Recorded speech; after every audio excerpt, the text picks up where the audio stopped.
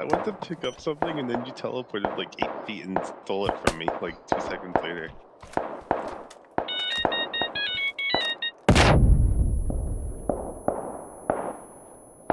Yay!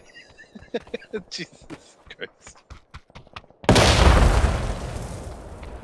Oh, he's in his building.